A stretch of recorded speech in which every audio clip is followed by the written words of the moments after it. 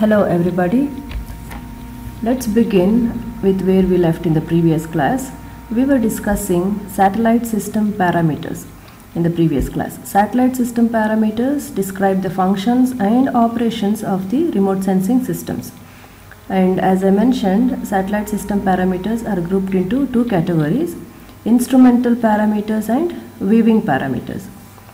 In today's class, we will discuss on viewing parameters. As the name indicates, viewing parameters decide how the earth is viewed from above. This essentially depends on the orbit details. Orbit details in terms of altitude and satellite's orientation and rotation relative to the earth's movement. Now satellites used for remote sensing are generally of two types geostationary or geosynchronous satellites and polar orbiting and sun synchronous satellites. Let's see these one by one.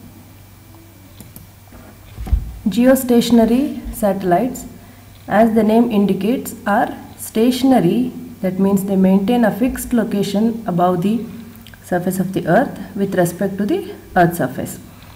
Now a geostationary earth orbit is a circular orbit as you can see in this figure here. And the orbit is at a height of 36,000 kilometers above the earth's equator. And the, the movement of the satellite follows the direction of the earth's rotation. Geostationary satellites are placed in orbit in such a manner that these satellites have an orbital period equal to the earth's rotational period and that's why these these satellites appear motionless at a fixed position in the sky to the ground observers. Examples of geostationary satellites include uh, satellites uh, in orbit for communication and uh, weather monitoring.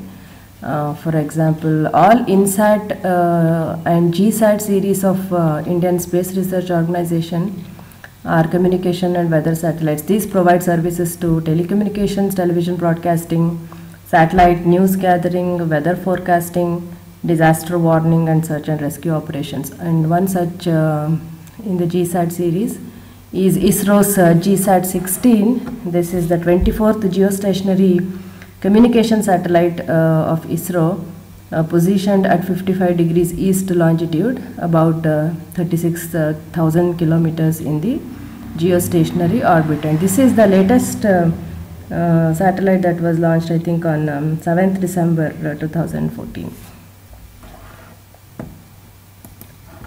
Now coming to polar orbiting and sun synchronous satellites, the altitude orbit altitude of these polar orbiting satellites unlike uh, geostationary satellites which are at a higher altitude of around 36000 these polar orbiting satellites are placed a few hundred to a few thousand kilometers above. Uh, the range is uh, somewhere um, around um, 600 kilometers to 2000 kilometers. As the name indicates polar orbiting these satellites orbit the earth from pole to pole that is from north pole to south pole in the descending mode and from south to north in the ascending mode. A satellite in a low polar orbit traces out a curving path over the earth's surface. In these satellites, the time at which the satellite revisits a given location is the same on every occasion. Uh, this is particularly useful for visible and infrared observations as the level of solar illumination can be chosen.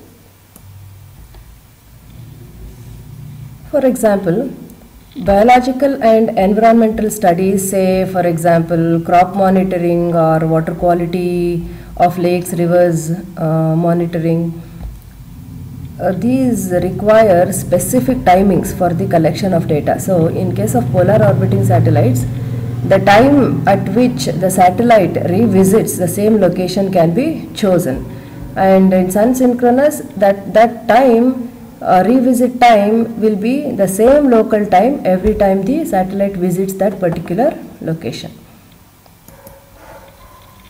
here in this video you can see In general, there are two groups of satellites.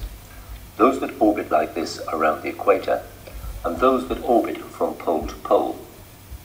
Almost all the satellites that orbit from pole to pole are at low altitudes.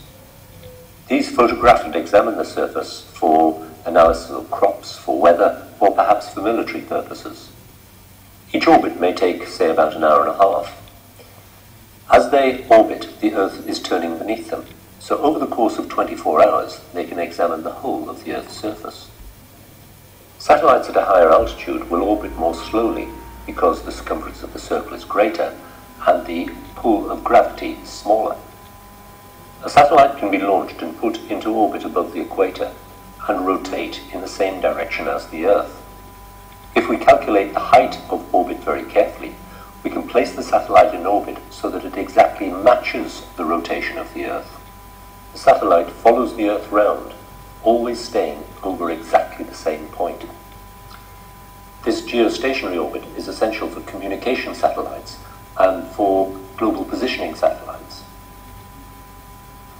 We can calculate the matching speed, height, and orbit time of every satellite to match its purpose. If the satellite is in stable orbit, then the force of gravity must be exactly equal to that force needed to provide the acceleration to the center for circular motion.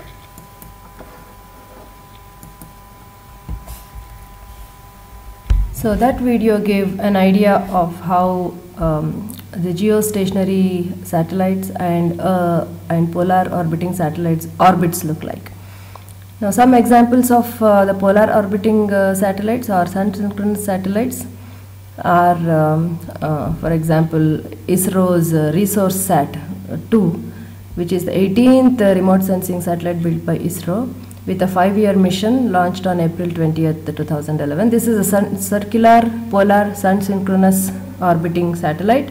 The orbit inclination is 98.73 degrees plus uh, or minus 0.2 degrees. Orbital period is 101.35 minutes.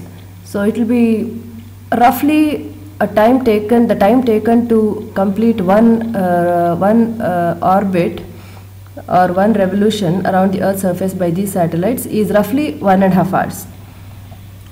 In, in, so, the number of orbits per day would then be around 14. Local time of equator crossing is uh, around 10:30 a.m. and repeativity is 24 days, which means the satellite takes 24 days to come back to the same location on the surface of the earth, any location for that matter for a given location it takes 24 days to uh, revisit. And um, as I mentioned the altitude orb orbital altitude of earth observing satellites or polar uh, orbiting satellites uh, is around 600 to 2000 kilometers square. So within that range altitude at which the resource sat 2 is placed is 817 kilometers. These these satellites, uh, polar orbiting satellites, uh, with the characteristics of the uh, revisit uh, time, uh, which will be the same time every time it, it revisits a particular location, these particular characteristics of these polar orbiting satellites are very useful for variety of applications, uh, including um, ecosystem mapping, understanding weather and climate, monitoring and management of natural resources, crop production forecast and uh, several agro-meteorological services and disaster surveillance for example pest uh, disaster, flood disaster or drought. So surveying of these horticultural development um, and so on. There is uh, this another video I would like to show. Okay here is another example. IKONOS which is also a synchronous polar uh, satellite uh, which is placed at uh, 681 kilometers above. It also has a 10:30 a.m. solar time as the equator crossing time. Uh, the inclination is 98.1 degrees. Swath, swath is 11.3 kilometers, and I'll show this video which describes what a swath is. Swath is actually the the path traced by the or the the the uh, strip the track width that is traced by the satellite uh, in every uh, orbit. Let's see what I mean exactly here. As you can see, the satellite is a, an example of polar orbiting satellite and as it goes from pole to pole, the earth beneath rotates on its own axis from west to east. So every time it, it makes um, rota rotation or say revolution, then the earth would have moved a little and every time a different uh, adjacent um, strip of land is scanned.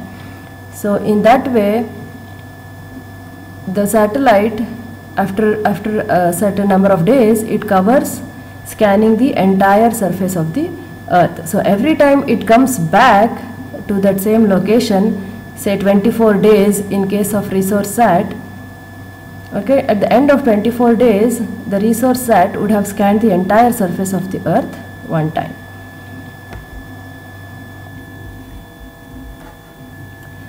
So in summary there are two types of remote sensing satellites geostationary satellites and polar orbiting and sun synchronous satellites.